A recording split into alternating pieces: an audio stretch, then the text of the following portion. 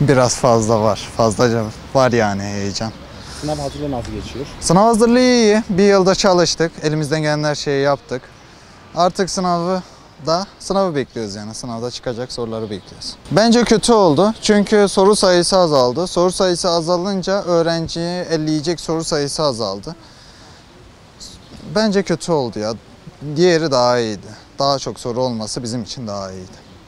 Ve sürekli Türkiye'de bu şekilde sınav sistemleri değişiyor. Bunu nasıl Evet. biliyorsunuz? Ya ben bu sınava ikinci girişim. İlkinde YGS'ye girdim, ikincisinde bunu. Şimdi seneye kalsam tekrar farklı bir sisteme gireceğim. Hani neye çalışacağımızı bilmiyoruz. Her zaman farklı bir şeye çalışınca hangisine çalışmak zor oluyor yani. He, aynı olsa belli bir sisteme çalışılır. Ama farklı farklı olduğu için farklı çalışıyoruz. O da bize sıkıntı yaratıyor. Olumsuz etki bırakıyor yani neye hazırlanacağımızı bilmiyoruz. Mesela bu sene sınavın nasıl olacağını biz 2-3 ay geçti sonra öğrendik. Aynısı olsa, aynısı kalsaydı yazdan çalışırdık. Bu sınavla ilgili bir kaygınız var mı?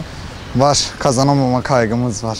Nasıl çıkacak, soruları görünce yapabileceğiz mi, yapamayacağız mı diye büyük bir kaygı var. Sınav heyecanı var, evet. Ee, hazırlıklarımız yani hala devam ediyor. Bir türlü bitiremedik. Çünkü bize daha sonradan geldiği için bu sınav sistemi. O yüzden en başında bilseydik başından beri buna çalışırdık ama bilmediğimizden dolayı tekrardan başladığımız için biraz sıkıntı oldu tabii. Keşke eski sistemde kalsaydık çünkü e, soru sayısı fazlaydı. Yapabilme olanağımız daha fazlaydı. Ee, şimdi soru sayısı az, e, zorluk derecesi yüksek. O yüzden daha kötü oldu bizim için. Kaygılarımız e, daha hiç karşılaşmadığımız bir sınav sistemi. O yüzden e, nasıl desem daha zor olacağını düşünüyoruz. Geçen seneki gibi olsaydı bir, bir sene daha hazırlanmıştım ben. Ona göre bir şeyler yapar üstüne koyardım. Ama bu sene daha yeni bir sistem olduğu için üzerine koyabileceğimiz fazla bir şey zannetmiyorum. O yüzden sıfırdan giriyormuşuz gibi düşüneceğiz. Geçen seneyi olmamış gibi hissedeceğiz. Devam ediyor aslında az kalsın ama heyecanlıyız hepimiz. Yani güzel bir yıldı bence. Bakalım heyecanlıyız yani. Sınav hazırlıklarınız nasıl gidiyor? Yani dediğim gibi heyecan olduğu için hani daha yeni bir sistem, bir şey hani bir sistem hakkında bir şey bilmiyoruz. Bakalım hayırlısı olsun ya. Ee, öncelikle Türkiye'de sürekli bu şekilde sınav sistemleri değişiyor. Bunu nasıl biliyorsunuz? Nasıl öğreniyorsunuz bir öğrenci olarak? Ya aslında tabii ki iyi bir şey değil.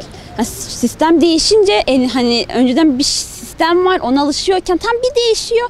Hani tekrar hazırlanmak zorunda oluyorsunuz falan. Tabii ki iyi bir şey değil ama ben şu an sistemi kötü bulmuyorum. Bana göre de kötü değil yani. Peki e, sınav kaygılarınız var mı? Şu an pazar günü sınava gireceksiniz cumartesi pazar. Kaygı değil de biraz heyecan var. Bir de e, önceki yıldan soru hani bilmiyoruz. Elimizde örnek bir şey yok. Onun dışında şey değil yani iyiyiz çok şükür. Sınava bence en önemlisi düzenli çalışmak. Hani ilk baştan son güne kadar düzenli sistemli bir şekilde çalışmak gerekiyor. Elinden geleni yapmak gerekiyor.